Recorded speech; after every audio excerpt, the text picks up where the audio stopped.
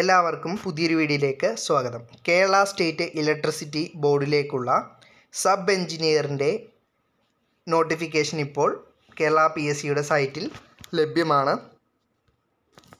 ശമ്പള സ്കെയിലെ നാൽപ്പത്തൊന്നായിരത്തി അറുന്നൂറ് രൂപ മുതൽ എൺപത്തിരണ്ടായിരത്തി നാനൂറ് രൂപ വരെയാണ് സബ് എഞ്ചിനീയറിന് വേണ്ടിയിട്ട് കെ എസ് ഇ ബി നൽകുന്നത്.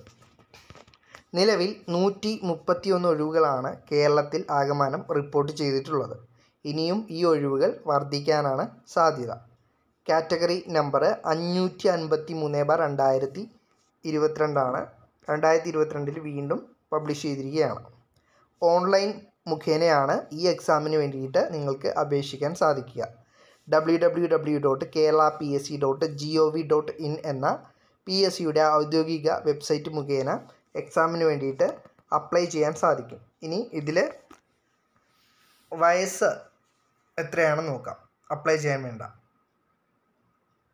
രണ്ട് ഒന്ന് ആയിരത്തി തൊള്ളായിരത്തി എൺപത്തി അഞ്ചിനും ഒന്ന് ഒന്ന് രണ്ടായിരത്തി മൂന്നിനും ഇടയിൽ ജനിച്ച ഉദ്യോഗാർത്ഥി ആയിരിക്കണം. അതായത് പതിനെട്ട് വയസ്സ് മുതൽ മുപ്പത്തിയാറ് വയസ്സ് വരെ പ്രായമുള്ളവർക്കാണ് ഈ എക്സാമിന് അപ്ലൈ ചെയ്യാൻ വേണ്ടിയിട്ട് സാധിക്കുക. ഒ ബി സി ഉദ്യോഗാർത്ഥികൾക്ക് മുപ്പത്തിയൊൻപത് വയസ്സ് വരെയും എസ് സി എസ് ടിക്കാർക്ക് നാൽപ്പത്തി ഒന്ന് വയസ്സ് വരെയും വയസ്സിളവുണ്ട്. ഇനി യോഗ്യത നോക്കാം. പത്താം ക്ലാസ്സിലെ തത്തുല്യമായ യോഗ്യത അതായത് എസ് എസ് എൽ സി വിജയം അനിവാര്യമാണ്. അതുപോലെ തന്നെ സാങ്കേതിക യോഗ്യതകൾ എന്തൊക്കെയാണെന്ന് നോക്കാം. ഇലക്ട്രിക്കൽ അല്ലെങ്കിൽ ഇലക്ട്രോണിക് എഞ്ചിനീയറിങ്ങിൽ മൂന്ന് വർഷത്തെ ഡിപ്ലോമയാണ് ഇതിനു വേണ്ട യോഗ്യത.